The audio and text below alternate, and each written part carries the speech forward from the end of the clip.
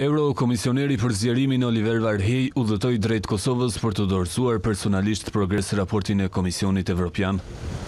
Gjatë këtij viti nuk ka pasur shumë përparim në rrugën drejt anëtarësimit në BE, thekson raporti, e shkak për këtë është bërë kriza politike dhe ndërrimi i qeverive. Pasi takoi kryeministrin Avdullah Hoti dhe kryeparlamentaren Vjosa Osmani, Varhej pranoi se Kosova i plotëson kushtet për liberalizimin e vizave, Një çështje që është zvarritur për disa vite nga blloku, por shtoi se duhen bindur vendet anëtare të Unionit.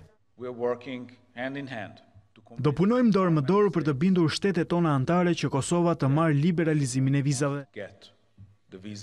Nuk jemi akoma aty. Duhet akoma të punojmë fort dhe më duhet mbështetja e këtij Parlamenti për këtë punë.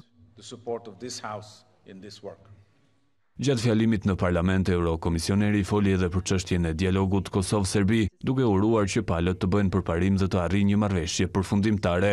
Gjithashtu shpjegoi planin e zgjerimit dhe të investimeve ekonomike të BE-së në Ballkanin Perëndimor. Ai përmendi një sërë investimesh në Kosovë, ku ndër të tjera veçoi kontributin që do të japë Unioni në ndërtimin e autostradës Nish-Prishtinë, që lidh Kosovën me Serbinë.